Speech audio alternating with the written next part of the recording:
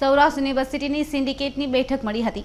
જોકે આ સિન્ડિકેટની બેઠકમાં વિવાદ સર્જાયો હતો. સિન્ડિકેટની બેઠકમાં છેલ્લી ઘડીએ ભરતીનો મુદ્દો લાવતા સદસ્યો નારાજ થયા હતા. ભરતીને સદસ્યોએ મંજૂરી ના આપતા છેલ્લી ઘડીએ ભરતી અટકી પડી હતી.